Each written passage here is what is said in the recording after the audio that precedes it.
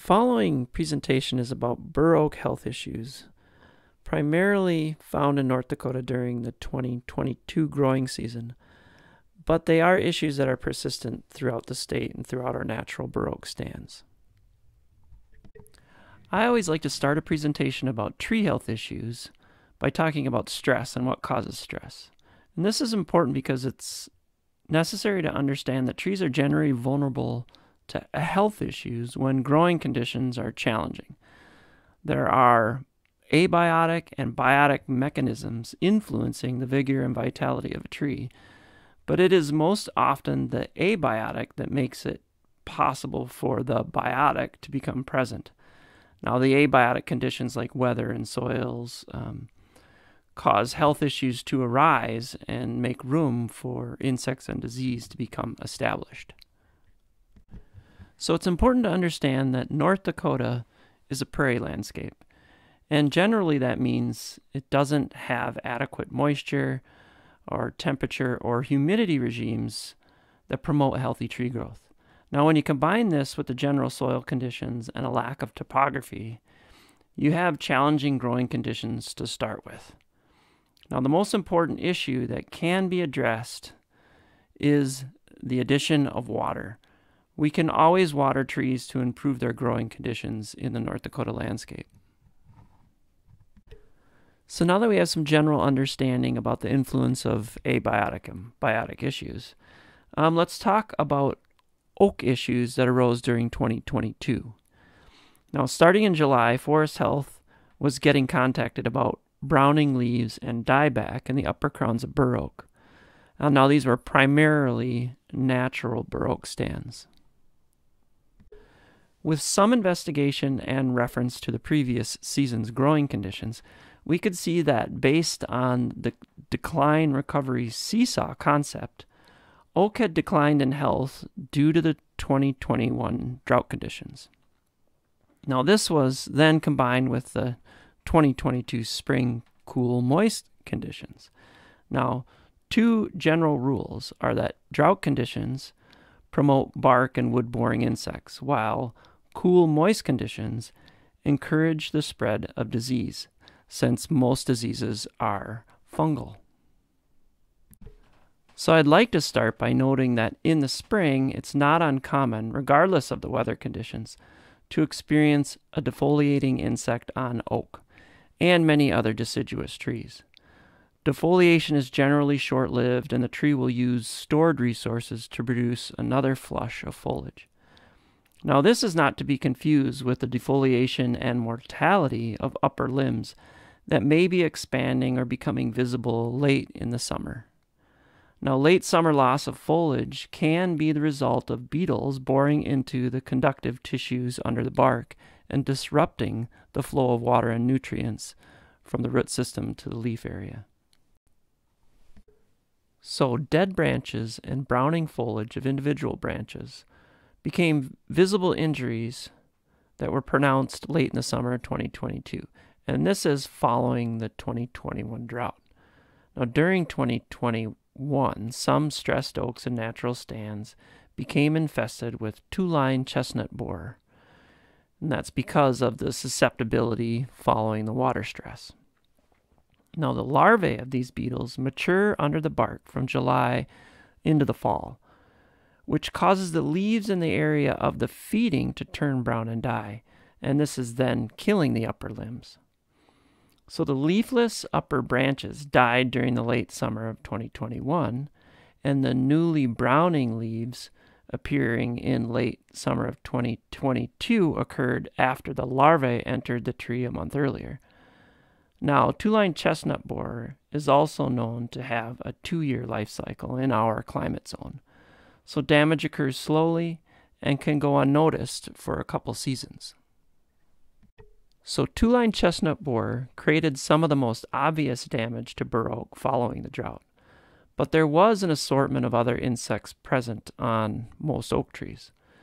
Now, it's rare to find only one parasitic insect present on a stress tree at any one time. There are often a few species of sap feeding insects that can be found on most deciduous trees in North Dakota during the growing season. Now, all of these species cause some type of damage to leaves, like shriveling or necrosis, some type of stippling, or simply various other types of damage and discoloration. So, insects were not the only health issues that trees were dealing with in 2022.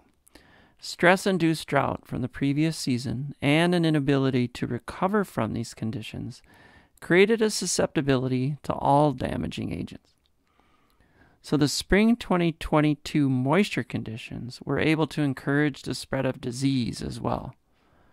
Now, one such disease that brought visible conditions and many questions was the browning of clumps of foliage on branch ends that were scattered throughout oak crowns. Now, this is Botryosphaeria species, which is a fungi that causes this browning clump to form late in the summer. And it's important to understand that this, this fungi is generally not detrimental to the tree. Now, with some of the Botryosphaeria questions came additional questions or concerns about the loss of bark on the trunk. So, there are several fungi that are saprophytic and will colonize the corky outer bark and cause it to slough off the tree.